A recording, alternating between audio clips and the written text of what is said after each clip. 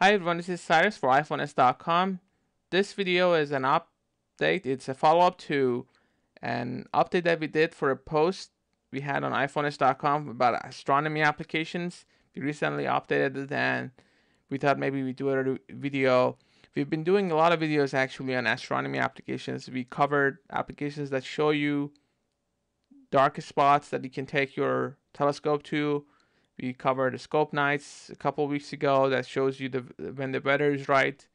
We've covered applications that show you meteor shower events and help you keep up, and also applications that provide you with basic understanding of what you're looking at in the sky, uh, star map, and interactive maps that you can use to get a better understanding of what the objects are and how to plan your stargazing experience.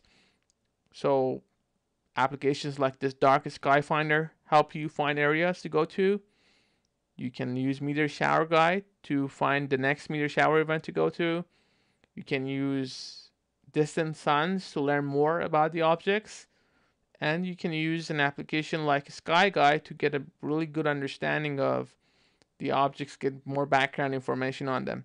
Now, these four applications that we're covering here today are applications that help you identify what you're looking at in the sky.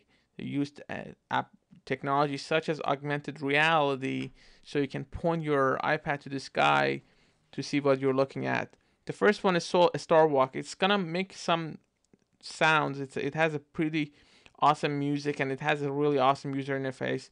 So I'm just going to demonstrate what it does. It's a it, it covers over 200,000 celestial bodies. It has augmented reality and so you point it to the stars and you see what you're looking at and there we go.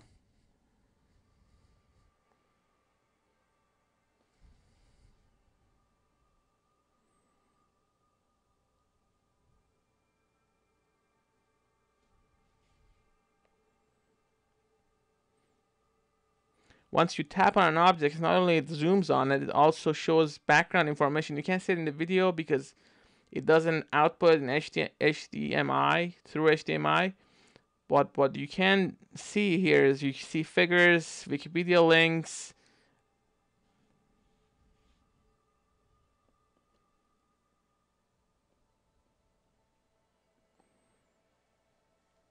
awesome 3D and pretty cool music. The next one, that is worth checking out is Go Skywatch Planetarium. It's an application you point to the stars to see what you're looking at.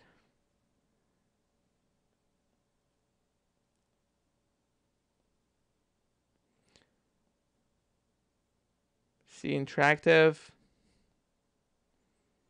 Very easy to use. Just you don't even need to know a whole lot about astronomy though it's better to know it because some of these apps are actually has they have advanced features which comes handy. You can do target identification which is what you're looking for. So it tells you object name brightness distance all these stars that are visible to the naked eye it covers them. You can find if you're looking for a certain object you can go through images. You can learn about solar our solar system, stars. You name it. You can just get a better understanding of what astronomy is about. It won't make you a scientist, but it does. It, surely beats just reading a couple of books. You can actually see what you're looking at. It's pretty awesome that, in that regard. Skyview we had a chance to cover this in a video recently. As you can see, it's showing interface interference with my compass, but this is the live view. If I was outside, I was looking at the stars and the sky, this is what I would get and I can identify different objects and this is for my location. I can search for other locations. I can search for different objects. It provides with that See that arrow? It shows you how to point your iPad so you find the planet or star that you're looking for. Now there are applica- there are gadgets that you can buy that that do, that do this, but they charge you 200 300 dollars for that. This one it it's 90 199 and it has you covered. Pretty interactive. You can choose what to display. You can choose different layers. Get more information on objects. You just tap on them, see what you're looking at. And that's about it. I do encourage you to go and see the video that we did for that for this application to see what other features it has. Sky Guide is another special app. It gives you an idea of what you're looking at. It's like a super enhanced map of the sky. Can set my location manually, a current location. does have awesome sound so you can see what you're looking at. It, it's like a book, it's like an interactive book, except that you can actually use it to identify objects in real time and get learn a couple of things every time you go out. So it has rich content, which is one of the best content as far as the quality of content. It has all the links so you can keep exploring it's very well designed, I, I, I have to say, and one of my favorite apps, and it's compatible with iPhone 4 to iPad 2 and above. It has HDR, HDR brightness gestures, so you can also zoom in and zoom out.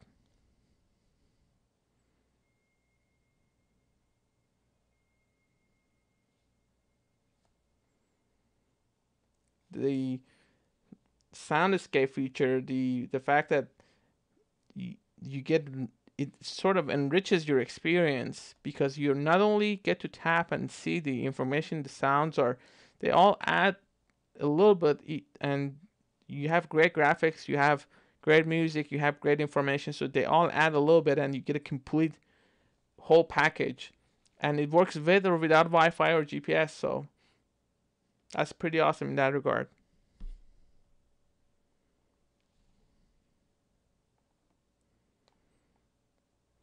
So some of the other apps that you can use that we haven't here, we haven't gotten them here, but you can actually see our videos on them. One of them is Distant Suns. It's a pretty decent application.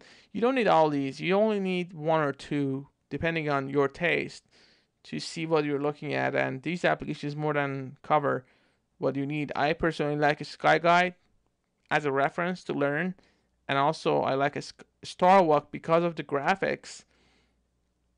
Skyview is pretty decent as far as just looking at the stars and seeing what, figuring out what you're looking at. So all of them have their own benefit. If I were to go with one or two, I would go with Sky Guide and Skyview, but the other two are also awesome. So you want to check all of them out if you can. You afford to buy all of them. I would recommend it. They're not that expensive anyway, so if you love astronomy and stars, trust me, I've tried so many of these apps, and even though some of them offer the same features, you always have a different, unique interface and unique take by the developer. So, and you can sort of figure out which one actually works the best for your needs if you try all multiple apps. And I, I hope you enjoyed this short review of these apps. We have covered them in longer videos, so you want to go check them out. Also, please go to iPhoneness.com to check our list on astronomy applications. Don't forget to check our telescope apps that show you where to take your telescope and also meteor shower applications. Thanks again for watching, guys.